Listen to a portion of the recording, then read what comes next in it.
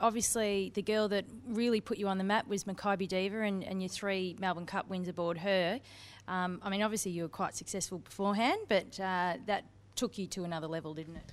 Oh, the Melbourne Cup. If you win the Melbourne Cup once, and you're, you know, you, you, your name's in history. It's, you know, it's just a race that, you know, it goes without saying what it is. You know, we've all spoken about it, what it, what it does to you. But to get to be associated with a horse that will one day be spoken about in the same breath as Phar Lap, you know, those greats, um, the Kingston Towns, those type of horses, um, and to say that I was the bloke that was involved is, is a great thrill. And yeah, in, in all my professional life, she's given me some of the most amazing adrenaline rushes on a racehorse is incredible. So yeah, she, she did a lot for a lot of people. That that great mare. The last 200, particularly in her last Melbourne Cup win, how did that feel approaching the winning line, knowing that you had that in the bag?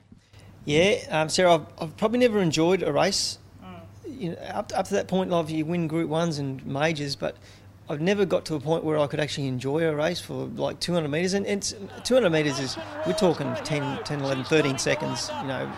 Well, she could probably break that easily, but yeah, it's, it's not a long time, but it, it felt like a long time, you know.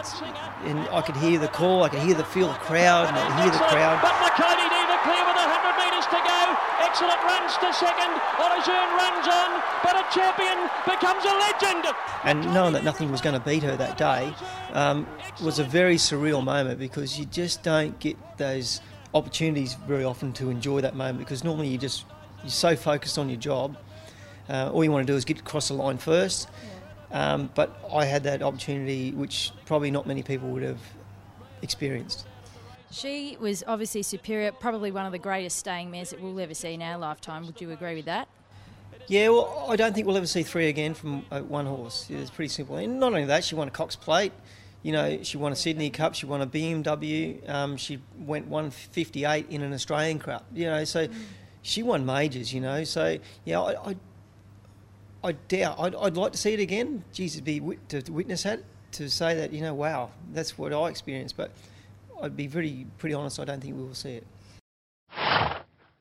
Get back on track, Victoria. The Spring Racing Carnival. It's time for some real entertainment. Visit springracingcarnival.com.au. You know you want to.